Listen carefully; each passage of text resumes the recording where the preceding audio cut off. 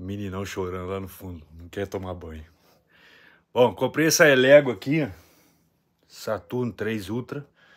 E esse bagulhinho aqui para poder lavar as peças e acabar de secar ali na luz. Então vamos lá, nunca tive uma impressora 3D, achei incrível eu poder pegar um, um botão tipo esse daqui, um knob, né? Que é modelo da EMI. Consegui desenhar ele no AutoCAD ali, cara, olhando no, no olho ali, copiando mais ou menos, e fazer um. É muito sinistro esse negócio, cara. É lindo. Aí eu passei um, um polimento nele pra ele ficar. Pra ele ficar meio. Tipo assim, né? Um botãozinho usado, né? Fiz essa, esse, esse chanfro ali, esse chanfro, esse rasgo ali, passei tinta, passei o dedo, pintou bonitinho ali a setinha. Animal a qualidade. Bom, a resina é cara, viu? Uns 300 reais ali, para nós pessoas comuns ali, você comprar uma resininha pra você dar uma... E, cara, é uma meleca do caralho essa resina, tá tudo sujo aqui, tudo sujo, o negócio nojento. Ela dilui em álcool, deve ter resina que dilui em água, mas, obviamente, a que dilui água deve ser mais fraca, né, fera? Por isso que ela dilui em aguinha. É, a que dilui em água faz uma bagunça do caralho. Ele tem uma bandeja aqui que é onde você enche de resina, e essa bandeja, normalmente a puta tá dando banho Essa bandeja tem um plástico que com 4,5 milhões de parafusos que prende esse plástico e coloca assim, um plastiquinho, tipo um filme plástico mesmo. Custa 56 reais esse plástico. Comprei no Mercado Livre agora porque eu estraguei já esse daqui já. E deu um pequeno furinho, vazou a desgrama da meleca da resina lá. Nossa, ai, que preguiça, cara. É muito legal a parada, mas você paga 100% do legal você paga com a sujeira melecada que tá aqui no laboratório, sacou? Se soubesse disso, eu teria botado isso no banheiro, velho. Fazer um banheiro só pra essa porra aqui nojenta.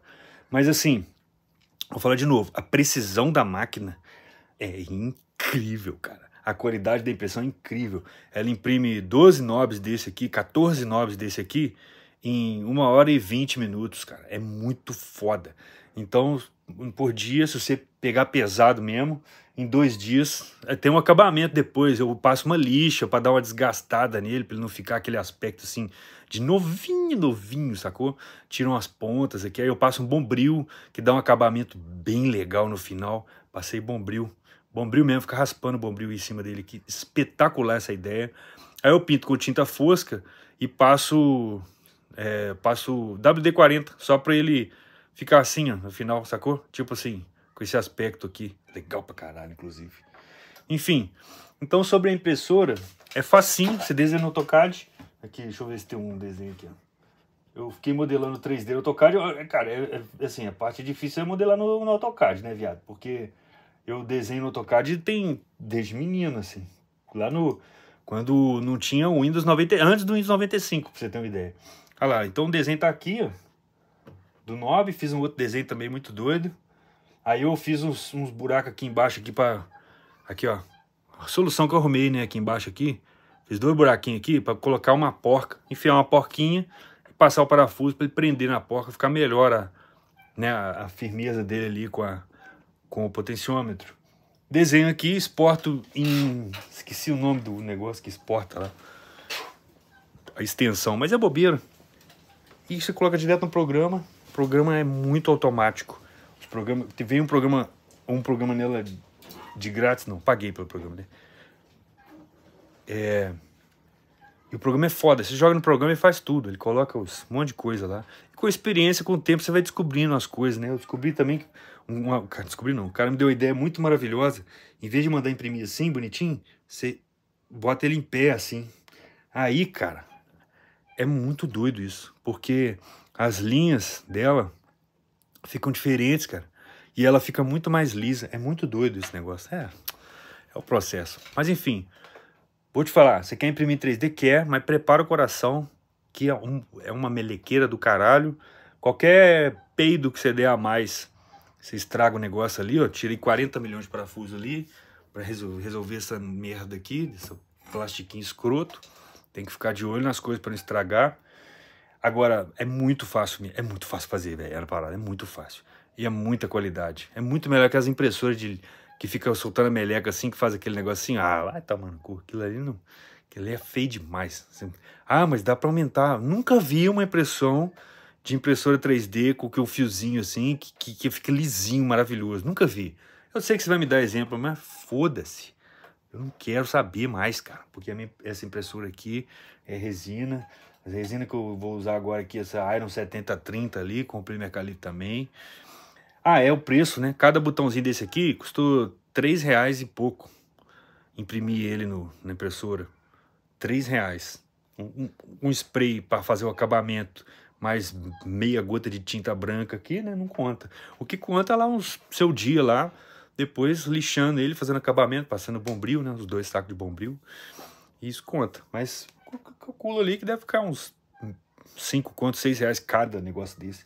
Cara, mas nós estamos falando de um botãozinho que se for comprar um semelhante, você vai comprar lá na a loja chama Dom Áudio, que você vai achar um knob desse daqui, por exemplo. Ele custa 17 euros. 17 euros.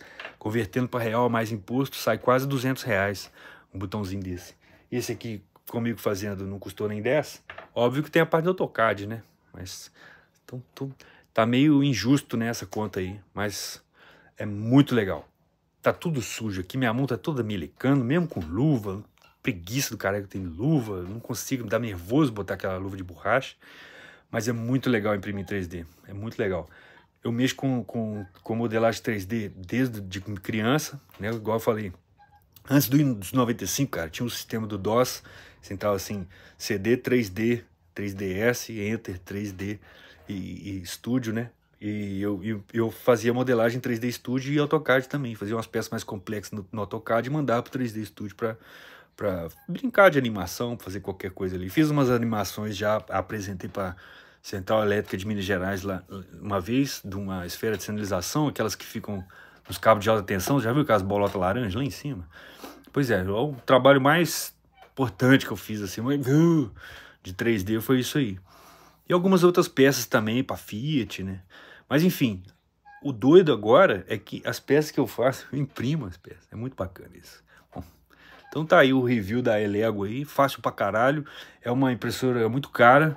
E tem outra também, Viva o Capitalismo, né? Graças ao capitalismo eu compro essa impressora aqui. Graças ao capitalismo também tem que trocar o computador, cara. Comprar outro computador. Porque o computador meu precisa rodar essa placa aqui. Ele é muito velho, ele é de 2010, 2011. Ele não aceita mais o sistema, não lê a impressora, ó, toma no cu. Graças ao capitalismo tem que comprar tudo de novo. Mouse, teclado, computador, porra toda. E é isso aí, né? Viva!